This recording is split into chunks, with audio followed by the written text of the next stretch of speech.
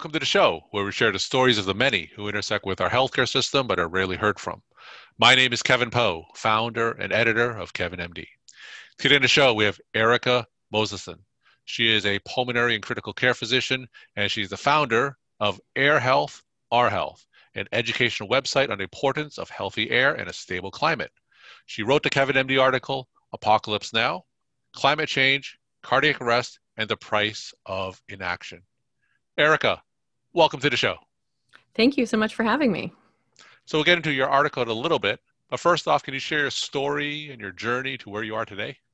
Absolutely. So I'm a pulmonary critical care medicine doctor, which means I split my time between the ICU, you know, taking care of patients on life support, ventilators. Um, obviously, that's huge right now with the COVID 19 pandemic. It's a large part of my life. Um, and I also see patients in the clinic who are suffering from lung diseases, everything from asthma to occupational exposures. And um, I, I, love it. It's one of the things I love about my job is that I get to be in the clinic and kind of be someone's doctor for a lifetime. And then I also get to be in the ICU and do all the really exciting things in medicine, you know, having patients who need emergency procedures and life support and really trying to rescue people when they get very, very sick. And I find that whole spectrum very satisfying. But one thing I started to really notice the more I did this is how much so many of these patients that were critically ill were there because of air quality, really. And, you know, most dramatically, I think we're familiar with smoking, right? If you're smoking and sucking cigarettes into your lungs, that has a lot of um, toxins in it, and in particular, particulate matter, PM2.5, which I focus on a lot um, that can make people very sick over their lifetime and acutely it can set their kids up for lifetime diseases. But a lot of other things you know from you know occupational exposures to just the chronic burden of diesel exhaust and air pollution that's in all of our communities that actually makes a lot of people sick that's almost invisible to us. And so one of the things i did when i started air health our health was just kind of trying to make the invisible visible like the air is you know kind of invisible most of the time except in the cases of you know severe wildfires but it actually really determines a lot of our health. And i think sometimes people think oh that heart attack in the non-smoker came out of nowhere or that stroke came out of nowhere and it really doesn't come out of nowhere. A lot of the time it comes from kind of the chronic toll of unhealthy air. Um, and so i just wanted to start a website and then the podcast actually where i kind of interviewed different scientists who looked into this everything on you know the changing pollen burden in our air to the changing you know diesel in our cities to what it means to live under an airport um, to what vaping does to the lungs um, and, and wild including wildfire smoke. So i kind of view it as part of my mission to avoid having people need to meet me professionally by cleaning up the air they breathe All right, so let's transition into your Kevin MD article, which I'm sure you're going to talk more about this issue. Apocalypse Now, Climate Change, Cardiac Arrest, and the Price of Inaction. Now, for those who haven't read that article, can you just walk my audience through it and share um, why you decided to write it? Yeah, absolutely. So, out here on the west coast of the United States, um, I think essentially our entire coast was on fire this yeah. um, end of the summer and the early fall um, where you know the satellite images from space were heart stopping i mean you just saw you know fire up and down the coast um, and we were just pouring you know smoke into the air um, and everyone was looking you know at the air now you know quality indicators um, or many of us were which were showing you know air quality beyond the hazard index. The one of the things i focused on a lot is uh, one particular element of smoke which is pm2.5 which is a form of particulate matter that's that's so small so it's measured under you know the particulate matter is kind of size based on microns so 10 is you know 10 microns pm 2.5 is anything less than 2.5 and that this the visible smoke is i think easier for us to see but it's these smaller particles that are hmm. actually really really deadly because they get all the way into our lungs and out into our bloodstream and circulate all over our body causing disease they actually cause um,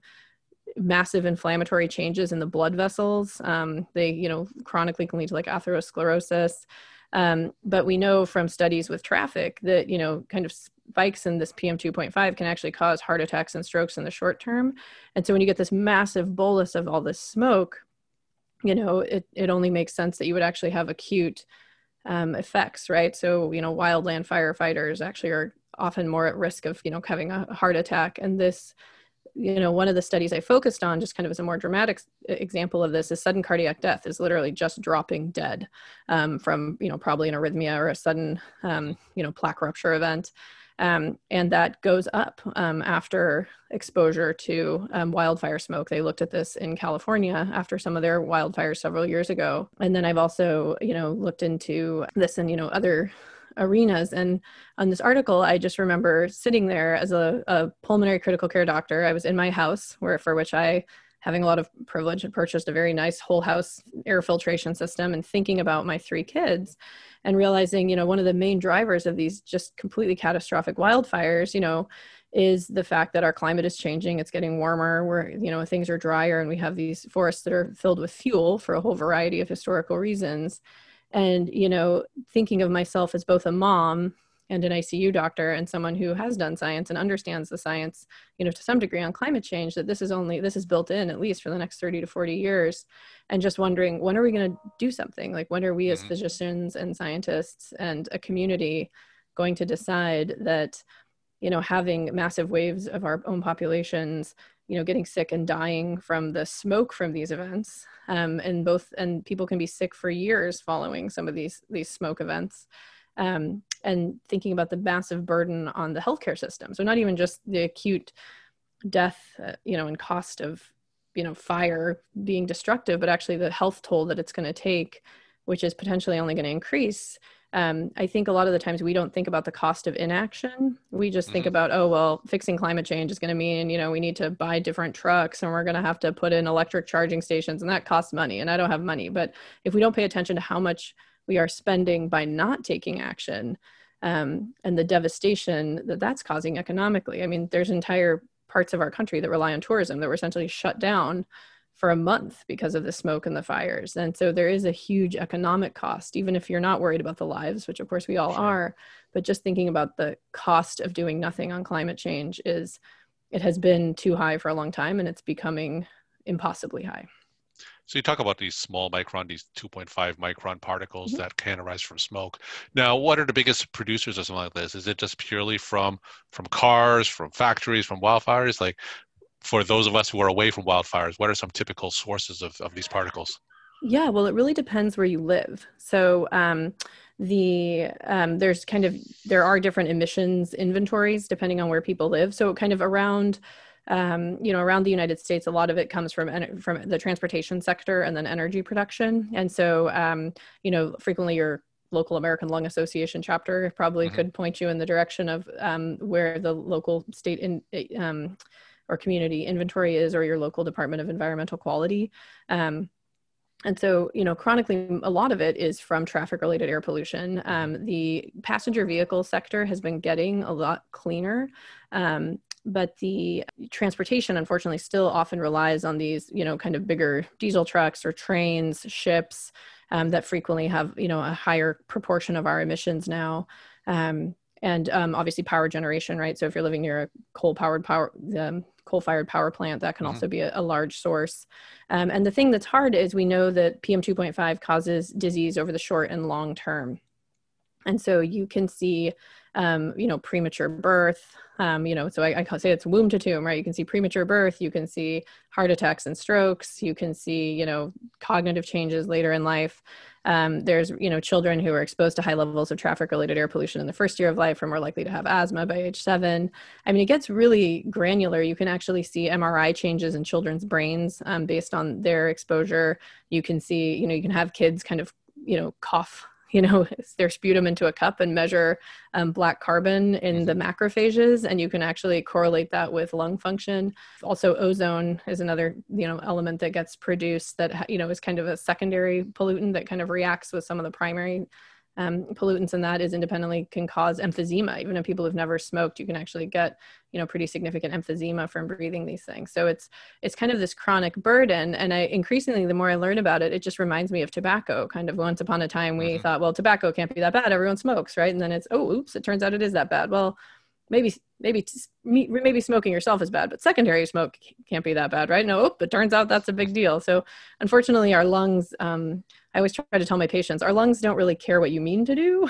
They're not that smart. They only can breathe in what's actually coming into them. So it's uh um, it, you know it is a real burden. I think it's interesting i was interviewing someone on our podcast where in europe now um, tra- uh, air pollution has surpassed smoking in the cause of death um, in terms of in, you know modifiable well hopefully modifiable risk factors um, there are now more europeans dying from traffic related air pollution than cigarettes which is wild because i remember studying abroad my junior year in italy and everyone was smoking mm-hmm.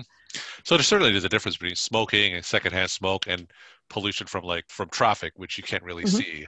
Now, is this something that you can measure? Um, and uh, and in terms of solving it from an individual household perspective, is it a matter of just buying air, air filters? Like, how can we uh, tackle this from an individual? Yeah, and so yeah, one of the hardest things from kind of a fairness perspective is one of the biggest determinants of indoor air quality is outdoor air quality. So, mm-hmm. um, you know, and unfortunately, people who um, one of the the sadder elements of this is that you know people who are more well off tend to try to get themselves housing in, in places with cleaner air, and then the people who are left to kind of live by the freeways and the train tracks and everything tend to already have different things going against them in life. And then it gets compounded by this kind of chronic burden of illness. Um, you know we see for example you know black kids are more likely to die of asthma than um, you know wealthier or wider community you know counterparts. And there's a lot of inequities in, in air pollution. So that's hard because you know it's hard to move your house right? But if you you know you do have a house um, air filtration systems can work. Um, you can there's and this is something where you I actually have a resource on my website um, on different air filter systems. Kind of there's a lot of uh, pseudoscience out there and so there's a lot of things that people will sell you like ozone generators and things that are probably not good. Um, but doing, you know, air filtration systems can be helpful. There are monitors. So the criteria air pollutants under the Clean Air Act, which includes PM 2.5, do require kind of monitors that are, they have the Department of Environmental Quality will have like very nice, um, very highly calibrated, sophisticated monitors. The issue is there aren't that many of them. And it mm-hmm. turns out traffic related air pollution can be a very hyper local phenomenon. Like a lot of these things can fall off um, pretty close um, to the roads. Um, so what, there are some kind of DIY monitor networks that you can kind of participate in. You usually are sacrificing accuracy a little bit, but it gives it can give you a little more granular data.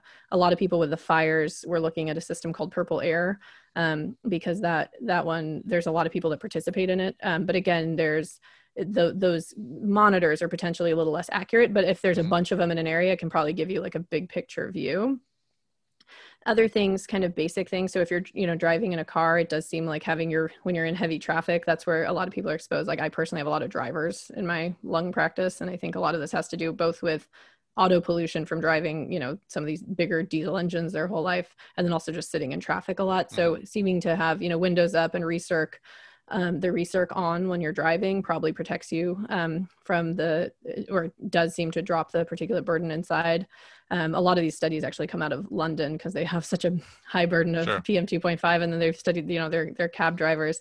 The other thing is, um, it does seem that there is uh, there is auto pollution from the engine um, that you're ri- driving. So you know, if you kind of swing an electric car, it's good for the planet, good for your wallet, and also probably mm-hmm. exposes you to a little less um, particulate matter. And I think in London, when they looked at the difference between a cabbie driving a one of the classic, you know, black cabs versus one of the newer hybrid cabs, they had lower exposure. And then obviously when it's very fulminant and dramatic, um, an N95 mask or a respirator can actually can decrease the particulate matter burden you're breathing. Um, but you know, overall, it's there's all these kind of individual things, but those individual actions are individually also a lot more expensive than taking a more kind of community-wide approach to just decrease the burden up front. And I'm convinced that the savings in healthcare you know costs and maintaining an economy alone would you know make it a wise investment so that's why i encourage people to think about you know actions to clean up the air as investments um, you know i always remind people that the think the clean air act had over a 20% annualized rate of return like who wouldn't want that for their you know mm-hmm. retirement portfolio right so you invest money to clean up the air and you generate a lot of health and economic activity we're talking to Erika Moseson. She is a pulmonary and critical care physician and the founder of Air Health, Our Health, and wrote the Kevin MD article, Apocalypse Now, Climate Change, Cardiac Arrest, and the Price of Inaction. Erika, from an individual clinician standpoint, what are some things that we can do to help address the issues that you bring up? Well, I think one thing that surprised me is um, I think a lot of the times doctors, we spend so much time becoming experts in what we do. And then we think that there, are you know, and there's always like experts above us who kind of dive down into these smaller areas.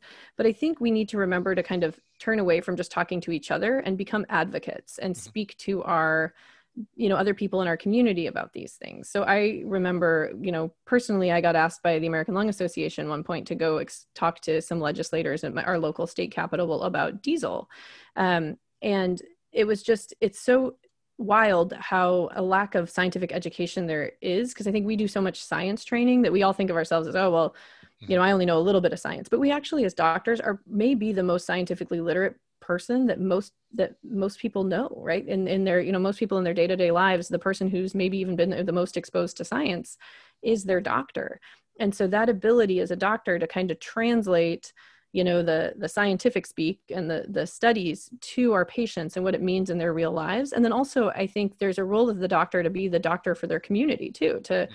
you know for the air to kind of um, air quality to kind of speak to you know city councils or the, your local congressperson or legislator you know whoever and, and explain about why these things matter.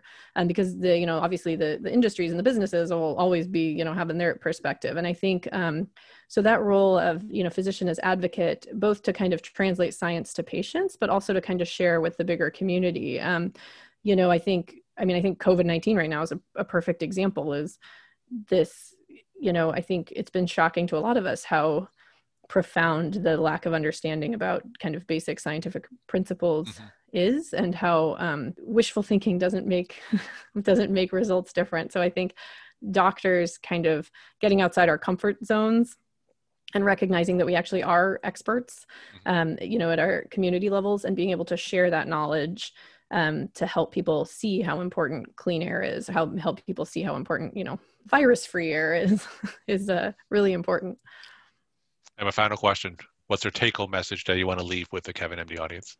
Don't light things on fire and breathe them into your lungs. Well said. Well, thanks again for sharing your time and insight. And thanks again for being on the show. Absolutely. Thanks for all you do.